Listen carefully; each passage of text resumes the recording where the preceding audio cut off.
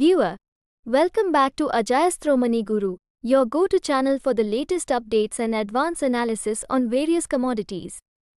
Today, on the 9th of November 2023, we have some exciting insights on the pulse market, specifically in Solapur and Burma. So, let's dive right in. In the bustling Solapur pulse market this morning, we observed some significant movements in prices. Tur and Urad prices have experienced a decline due to subdued buying activity in the run up to the Diwali festival. However, there's good news for chana enthusiasts as chana prices have remained stable. The pink variety of Tur has seen a price decrease of 100 rupees, now trading in the range of 9500 rupees to 11900 rupees per quintal.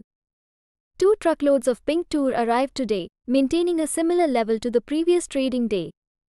But, no arrivals were recorded for the Maruti, Red Tur and the GRG 811 Tur variety. Shifting our focus to chana, milk quality chana prices remain steady in the range of 5000 rupees to 6050 rupees per quintal. Similarly, Annigeri chana prices stayed within the range of 5600 rupees to 6300 rupees per quintal. Only one truckload of chana arrived today, mirroring the arrivals from the previous trading day.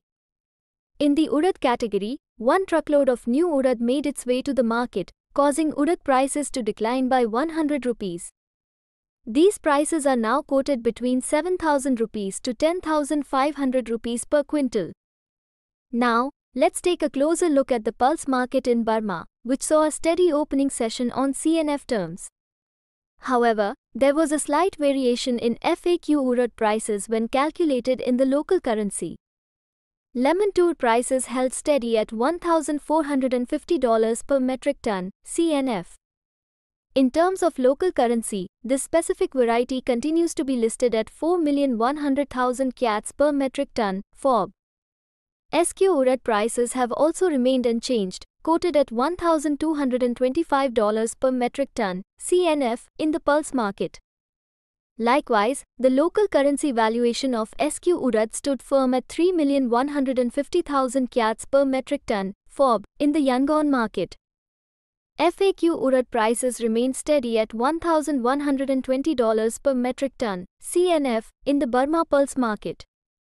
However, the value of FAQ Urad in the Yangon market experienced a slight decrease, dropping by 13,000 kyats, and is now quoted at 2,877,000 kyats per metric ton, FOB. And there you have it, folks. The Solapur pulse market has witnessed a decline in Tur and Urad prices due to subdued Diwali-related buying activity, while chana prices have held steady. In Burma, the market opened on CNF terms, maintaining stability in most pulse varieties, with a slight shift in FAQ Urad prices. Stay tuned for more updates, analysis, and insights on various commodities here at Ajayastromoneyguru. Don't forget to like, share, and subscribe to stay ahead in the world of commodities trading. Thank you for watching, and we'll see you in the next video.